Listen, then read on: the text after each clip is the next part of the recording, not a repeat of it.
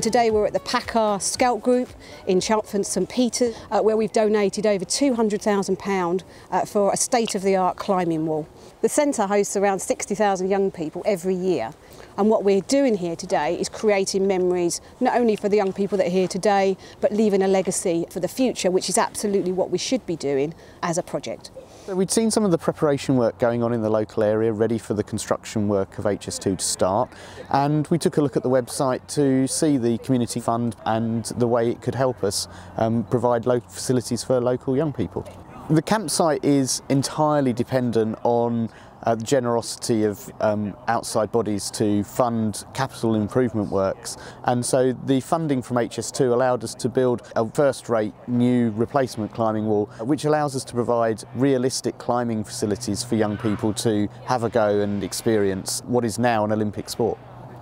It means a lot to be able to see the HS2 community funding in action today. There have been over 50 projects that have been awarded to in the Buckinghamshire area, over £3 million worth of funding, and to actually see some of them come to fruition is really satisfying. We can see the kids here today having an amazing time, and the fact that there's going to be a kind of wider legacy of the project in the area is really important for some of these impacted communities.